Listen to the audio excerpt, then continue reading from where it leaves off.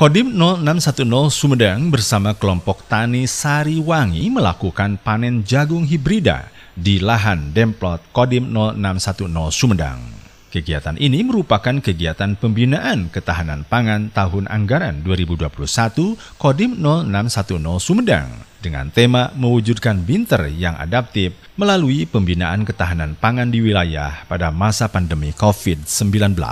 Acara dihadiri Dandim 0610 Sumedang, Kadis Pertanian dan Ketahanan Pangan, Camat Cimalaka, Kapolsek Cimalaka, dan Ramil Cimalaka, Pasiter Kodim 0610 Sumedang, Kapolsek Cisarua, Ketua Persit KCK Cabang 21 Kodim Sumedang, anggota Kuramil 1002 Cimalaka, Babinsa dan Babin Kantibas Desa Naluk, Kepala Desa Naluk, anggota BIOS 44 Kodim 0610 Sumedang, serta Poktan Sariwangi Desa Naluk. Dan Dim 0610 Sumedang Letkol Infantri Jenderal Mustoba mengatakan, lahan tidur bekas galian pasir yang dimanfaatkan oleh Kodim 0610 Sumedang bersama kelompok tani Sariwangi merupakan salah satu bentuk upaya program ketahanan pangan di tengah suasana pandemi virus corona yang bertujuan memotivasi masyarakat agar lebih memanfaatkan lahan tidur, baik di pekarangan rumah maupun di kebunnya untuk meningkatkan perekonomian rumah tangga di tengah pandemi COVID-19.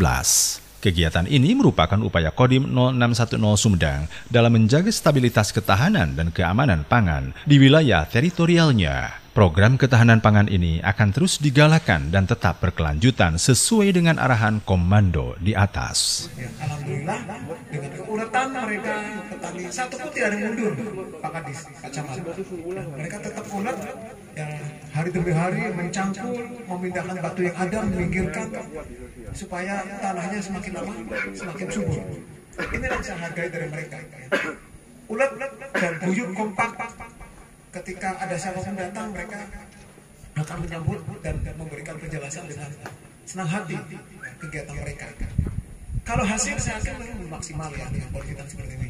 Tetapi dengan keulatan mereka, tiap hari mereka bekerja tanpa mengenal lelah ya dengan pekerjaan lainnya. Memang mereka punya pekerjaan lain. Uh, ada yang tukang bangunan, tukang batu, tukang segala macam, ya. Tapi dengan keulatan mereka tetap tanah ini, lahan ini tetap terpelihara dengan baik. Demikian Abinang Ferry dan Iwan Ingki melaporkan.